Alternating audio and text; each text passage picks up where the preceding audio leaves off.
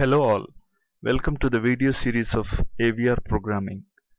To start with, we shall see the installation of WinAVR toolchain. This WinAVR is an open source uh, toolchain. Google for WinAVR and select the first result. You will be taken up to the SourceForge.net uh, download page. Select the latest version to download. WinAVR 2010 is the latest version at that moment. It is only a 28 MB file. Even though it is smaller but it will take uh, 10 to 15 minutes for download. As the SourceForge.net servers limit the download speed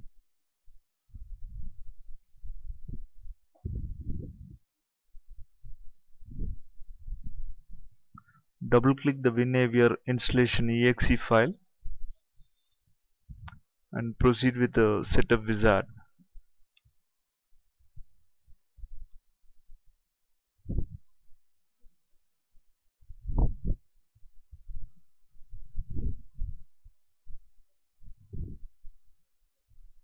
WinAVR is installed in your C drive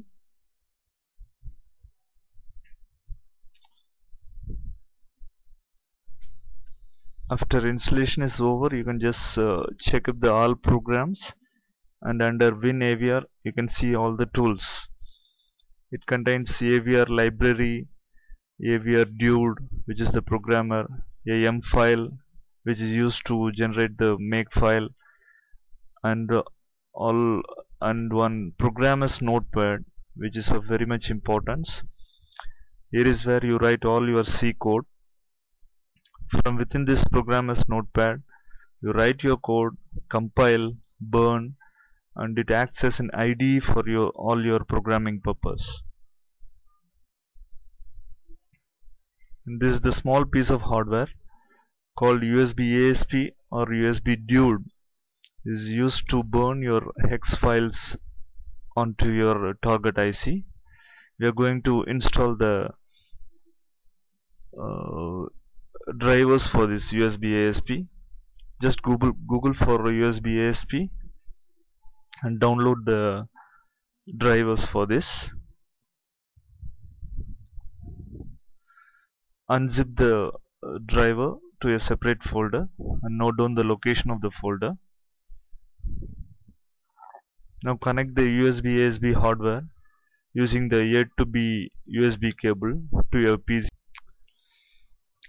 as soon as you connect the hardware the green LED glows.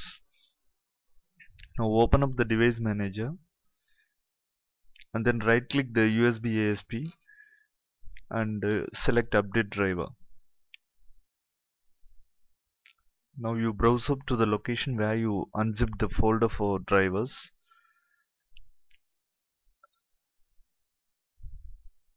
Select the driver folder and then click next to install.